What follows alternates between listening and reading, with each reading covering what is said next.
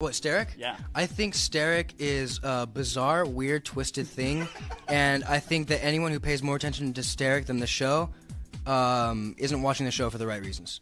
And that's that's all I gotta say about that. That is cons- Um, if anybody's ever been offended by thinking that I have some weird feelings towards it or anything, like, I absolutely don't. I always said I, I hope you guys enjoy it, and I, I love that you guys are creative and, and, and take the characters and, and make them your own. So um, it's never been it's never been something that's upset me or anything.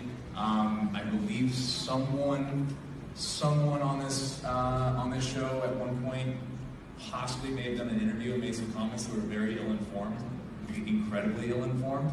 Um, so, uh, if anyone's ever been offended, I apologize. Um, never had any problems with it. So, um, I hope you guys continue to love those characters as much as we do. Thank you. Thank you.